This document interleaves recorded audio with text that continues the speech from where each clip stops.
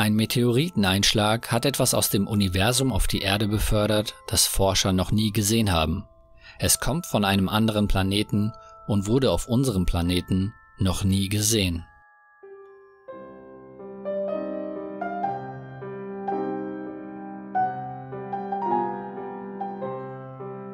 Auf der Erde ist ein Meteorit eingeschlagen und er hat etwas mitgebracht, mit dem Wissenschaftler nicht gerechnet haben. In dem Objekt aus dem Universum verbarg sich etwas, das auf der Erde bisher völlig unbekannt war. Bei dem Meteorit, der eingeschlagen ist, handelt es sich um ein bereits 70 Jahre altes Gestein, das 1951 in der Stadt Wedderburn in Victoria, Australien, auf die Erde getroffen ist. Das Objekt sieht mit seiner schwarz-roten Färbung nicht nur seltsam aus, es beinhaltet auch etwas sehr Mysteriöses, das Forscher so bisher noch nicht kannten.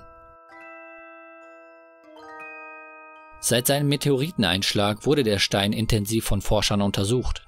Nun aber stellt sich erst heraus, dass das fremde Objekt aus dem Universum auch ein Mineral in sich trägt, das auf der Erde nicht vorkommt. Das nach dem Meteoritenexperten und Kosmochemiker Edward Scott von der University of Hawaii benannte Edscotit-Mineral wurde in einer neuen Analyse von dem Mineralogen Shima von der Caltech bestätigt.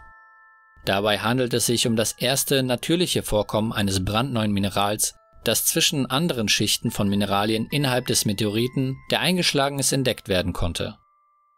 Edscotit ist eine seltene Form von Eisenkarbid, das bisher noch nie in der Natur gefunden werden konnte. Forscher kennen zwar die synthetische Version des Minerals, die als Schmelzphase beim Übergang von Eisen zu Stahl auftritt, die Bestätigung einer natürlichen Quelle wie durch das Objekt des Meteoriteneinschlags gab es jedoch zuvor noch nie. Besonders spannend, dem Planetenforscher Geoffrey Bonning von der Australian National University zufolge handelt es sich bei dem Meteoriten gefundenen Edscotit um Rückstände eines erhitzten, unter Druck gesetzten Kerns eines alten Planeten, der im Universum explodiert ist und am Ende zum Meteoriteneinschlag auf der Erde geführt hat Música